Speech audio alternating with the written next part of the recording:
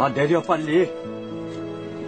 멀쩡한데 내가 입원을 왜 해요? 아 까불지 말고 시키는 대로 해. 엄마가 잘못한 게 있으면 말로 해야 이렇게 엄마 속 끓이지 말고. 엄마는 왜 그렇게 내 눈치를 봐요?